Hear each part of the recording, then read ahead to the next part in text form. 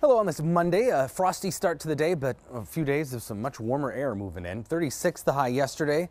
Uh, still 7 degrees below normal, but it was a relatively mild weekend. We did hit that normal on Saturday at 43 degrees. Uh, below freezing just for the northern part of the state, otherwise fairly mild here in the south with a couple of 40s out there again where we saw a little more sun uh, yesterday in southwestern Minnesota.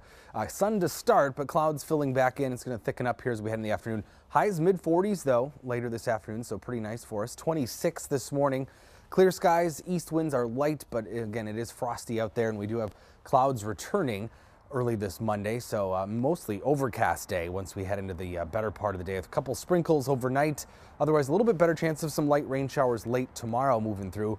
None of it substantial, but a couple of raindrops out there, and then we clear out for Wednesday as a little bit cooler air moves back into the area. But again, 40s this afternoon, temperatures tonight staying above freezing. In fact, we're going to be above freezing until probably Wednesday morning once we get above it later this morning.